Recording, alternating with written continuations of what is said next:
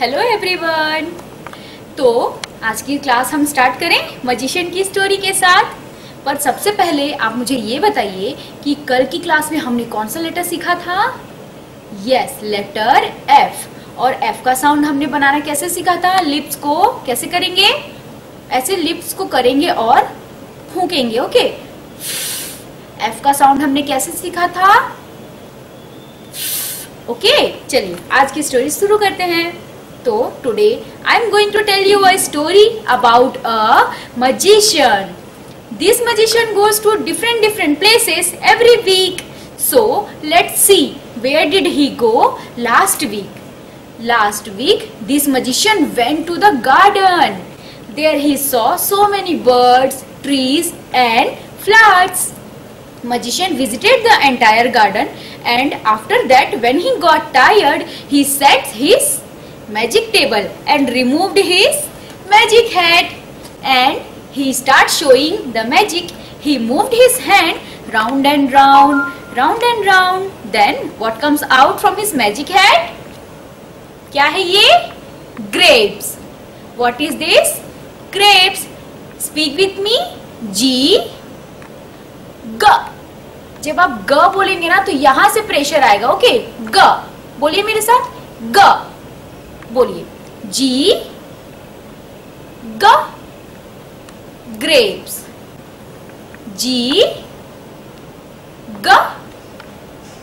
Grapes G ग grapes then magician puts grapes in his magic head and again move his hand round and round round and round then grapes changed into what is this goat. बोलिए मेरे साथ। G, ग। Goat. G, ग। Goat. One more time G, ग। Goat. Then magician puts goat in his magic hat and again move his hand round and round round and round then goat change it into girl. Speak with me. G G girl. G G girl. G G girl.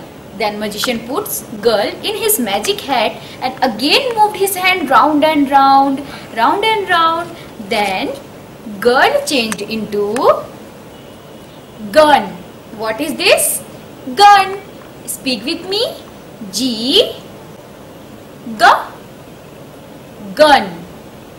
G G gun. Again G G gun. Then magician puts gun in his magic hat and again moved his hand round and round, round and round. Then gun changed into guitar. पसंद है ना आप लोगों को भी guitar?